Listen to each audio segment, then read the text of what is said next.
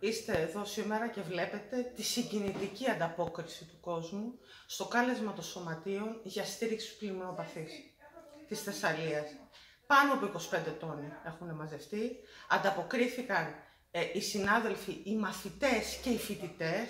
Ήταν πολύ συγκινητικές στιγμές που ζήσαμε προχθές και σήμερα και όλες αυτές τις μέρες που φέρνουν έστω και ένα πακέτο μακαρόνια, δύο κουτιά ε, νουνού μαθητές του Δημοτικού και του Γυμνασίου.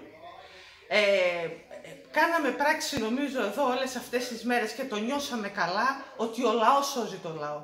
Το σύνθημα έχει πια πάρει σάρκα και οστά εδώ.